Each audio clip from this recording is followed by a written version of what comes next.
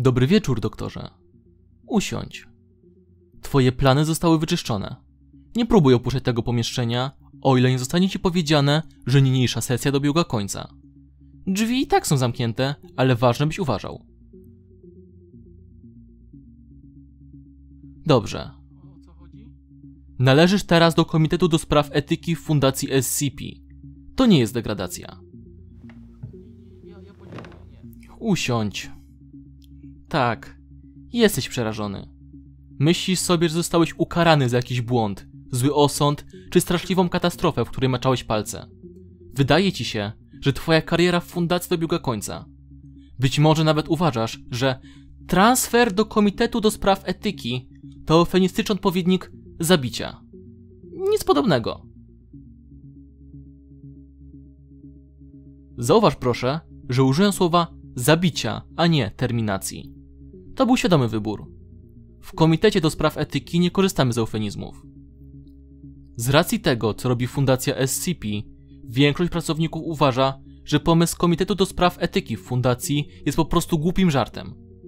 Możliwe jednak, że wiedzą o istnieniu komitetu, ale uznają, że jesteśmy beznadziejnym pośmiewiskiem. Zgarają bezcelowych biurokratów machających pieczątkami ze wzorem zatwierdzono, niezdolnymi do wyrażenia sprzeciwu. Tak, widać, że słyszeli dowcipy o nas. O proszę, ilu członków Komitetu do Spraw Etyki potrzeba, by zmienić żarówkę? Żadnego. Komitet do Spraw Etyki nie może zmienić niczego. Nie, w, w porządku. Miałeś się roześmiać. Usiłujemy pozostać przy wizerunku bezużytecznych, ponieważ stanowimy tajemną siłę wnątrz fundacji SCP. Usiądź! Tak, są też o pięć. Osądzają co jest, a co nie jest bezpieczne. Jest to ważna funkcja. Jednakże to my doradzamy o pięć w kwestii tego, co jest, a co nie jest dopuszczalne. Dopuściłeś się straszliwych rzeczy podczas swojej pracy w fundacji. Nie próbuj tego negować, doktorze. My wszyscy zrobiliśmy straszne rzeczy dla fundacji. Jest to jedna z nieuniknionych kwestii pracy z obiektami SCP. Sporadycznie zastanawiałeś się, czy jesteśmy, w cudzysłowiu, tymi złymi. Nie, nie jesteśmy. A to dlatego, że istnieje Komitet do Spraw Etyki. To twoja pierwsza lekcja, zrozumiałeś? Zapamiętaj sobie. Fundacja nie jest zła. Nie torturujemy ludzi, bo tak. Sprzeciwiamy się niekoniecznemu okrucieństwu. Co oznacza, że ktoś musi decydować, czy dane okrucieństwo jest konieczne. To zadanie należy do nas. Przestań się trząść. Ważne, żebyś to zapamiętał. To twoja druga lekcja.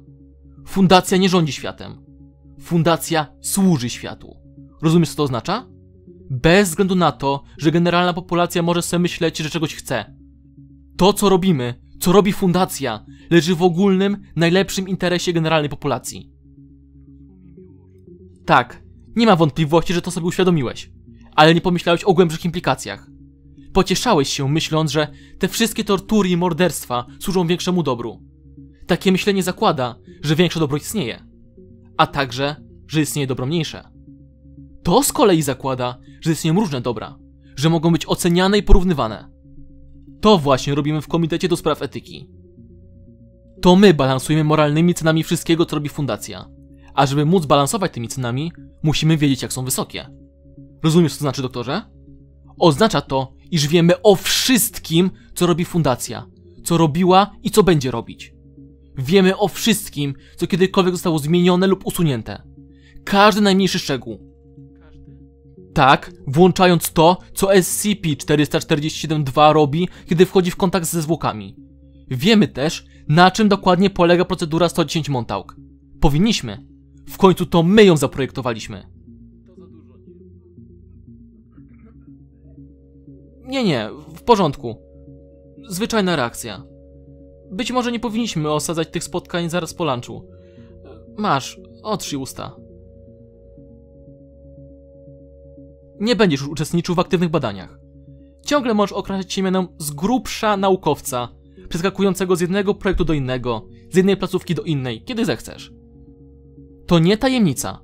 Masz prawo powiedzieć swoim wszystkim przyjaciołom, że zostałeś przeniesiony do Komitetu do Spraw Etyki, jeśli jesteś w stanie radzić sobie z żartami i użalaniem się. Będziesz obserwował to, co będzie się działo i pytał zarówno siebie, jak i uczestników, dlaczego to się dzieje. Jeżeli kiedykolwiek uznasz, że coś jest ekscesywne, niekonieczne lub złe, informujesz nas. Weźmiemy się odpowiedzialnie za te osoby i zadamy im kilka pytań w ten sam potulny i nieefektywny sposób, w jaki wierzą twoi współpracownicy. Następnie słowa popłyną do O5 przez wiele poziomów biurokracji. A ci, których praca została uznana za nieetyczną, otrzymają reprymendy, które są odnotowane w ich permanentnych zapiskach. Albo ich pensja zostanie obcięta. Albo zostaną zdegradowani, albo przeniesieni do innego projektu. Albo zostaną zastrzeleni za popełnienie zbrodni przeciwko ludzkości. To twoja trzecia lekcja. Zapamiętaj to.